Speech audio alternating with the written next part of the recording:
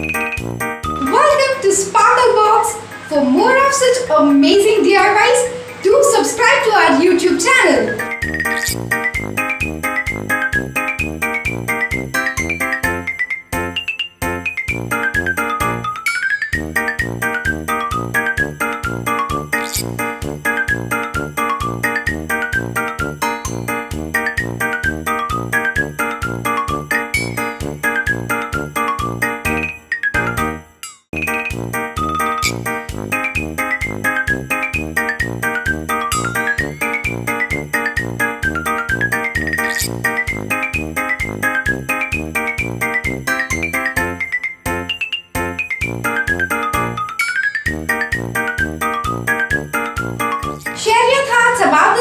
In the comments and also let us know if you want us to try any DIYs.